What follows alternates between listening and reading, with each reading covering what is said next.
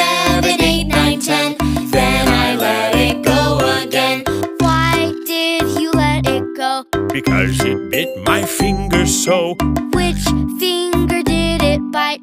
This little finger on my right.